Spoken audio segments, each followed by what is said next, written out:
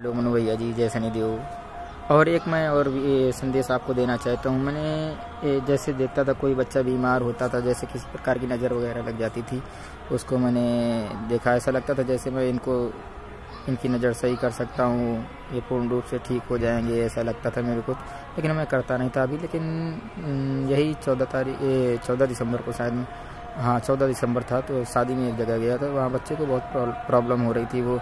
रो रहा था और उल्टियाँ वगैरह भी कर रहा था। पता नहीं मैंने उनसे पूछा, ये कब से चालू हुआ? तो उन्होंने बताया कि यहाँ जब से आए, तब से ये प्रॉब्लम हो गई है, उल्टी वगैरह हो रही है।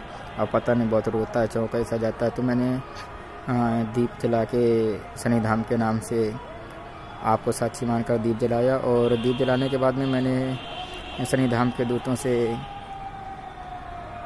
प्रणाम करके उनको बोला कि ये शनि धाम के दूतों विजय दूत, आप इस बच्चे में जो बाधा हो, जो समस्या है, उसको यहाँ से, इस समस्या से मुक्त करके मुक्ति दो। और ऐसा बोल दिया और थोड़ी देर बाद वो दीपक से तेल ले, लेके उस बच्चे को चटा दिया और देखा कि कुछ समय बाद बच्चा पूर्ण रूप से सही हो गया और खेलने लगा इधर उधर। मुझे बहुत खुशी मिली कि मेरे हाथों से एक बच्चे का जो तकलीफ़ थी वो उसमें राहत हुई पूर्ण रूप से। और हाँ मेरी, मेरे यहाँ भैंस को कुछ प्रॉब्लम हो जाती है, पता नहीं। मेरे यहाँ कोई भैंस या जानवर कुछ रखना हो तो उनको वो पूर्ण रूप से सही नहीं रहते हैं और कोई ना कोई परेशानी वगैरह बनी रहती है। बच्चा नहीं सही से हो पाता है और ना ही वो दूध देती है ढंग से। पता नहीं, ऐसा लगता जैसे किसी बंधन में हो।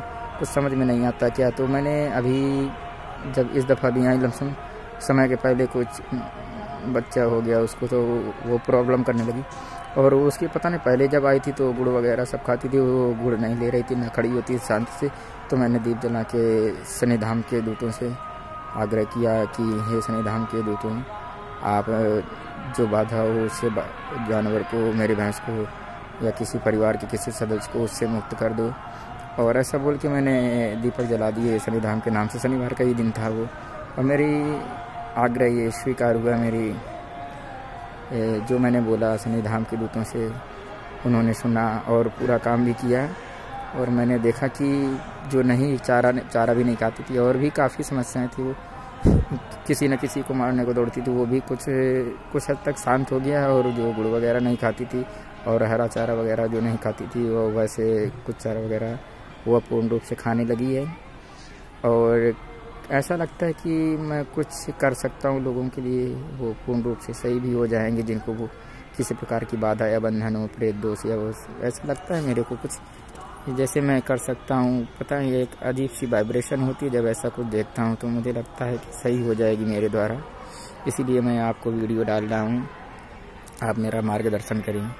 जय शनिदेव, जय श्री श्याम, जय हो बालाजी सरकार।